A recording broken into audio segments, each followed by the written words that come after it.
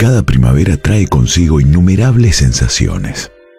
Pululan los sentimientos de paz, amor, amistad, alegría. Y sucede algo mágico. Florecen las flores, aunque al escuchar y pronunciar esta última palabra, la misma nos provoque escalofríos, nos deje sin palabras nos remonte a uno de los días más dolorosos y tristes de la historia del carnaval correntino. Desde aquel septiembre de 1978, la fiesta de Momo en Corrientes nunca más fue igual. Por un instante, las lentejuelas dejaron de brillar. Las plumas se destiñeron con miles de lágrimas los esculturales y animados cuerpos que se movían al ritmo hipnótico de los parches quedaron quietos, tiesos, inertes.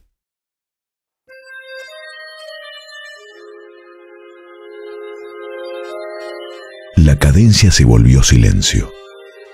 El aliento enmudeció gargantas y lo increíble nos perforó a todos como un rayo dejando heridas imborrables, difíciles de sanar. Dolió, duele y va a doler siempre. A los que estuvieron, estamos y van a estar. Nos duele y mucho. Momo el rey de la burla y el sarcasmo, tampoco pudo entender demasiado. Había generado con su locura que el rayo fuera protagonista indiscutida de una fiesta que identificaba a Corrientes en toda la Argentina. Corrientes todo un país. Corrientes, capital nacional del carnaval pero el destino quiso que esa alegría incontrolable se esfumara por un instante. Aquello fue una pausa impensada, intensa, comparable a una brutal frenada que nos llevó al sitio menos deseado, justo a las seis seis y pico de la mañana, a poco de llegar a destino con las primeras luces del día, todo se volvió oscuro, opaco, triste, obsoleto, inexplicable.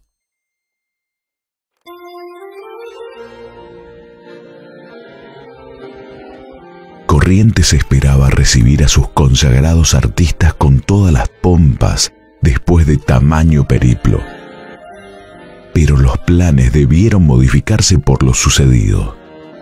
Desde aquel entonces, ocho nuevas estrellas son parte de la constelación más bella, mágica y esplendorosa que haya existido.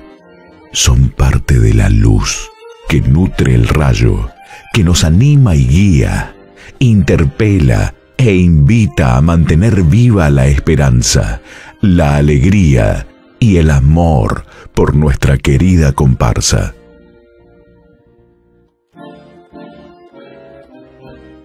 Desfilamos por, para y con ustedes, siempre sumados a otros tantos que también partieron para ser parte de ese inexplicable sentimiento llamado Aravera. Aprendimos que después de las lágrimas aparece el compromiso, que luego de la muerte viene el legado y que la pasión, el orgullo y el honor de ser parte del rayo se vuelve irrenunciable sabiendo que ustedes y muchos otros tantos desde el cielo hacen latir nuestro corazón con ritmo de carnaval. Gracias por custodiarnos en cada ensayo, en cada desfile, en cada equivocación. Muchas gracias por inyectarnos en las venas la luz encantadora que alimenta e ilumina mi pasión, tu pasión, la pasión de Corrientes. Hará verá.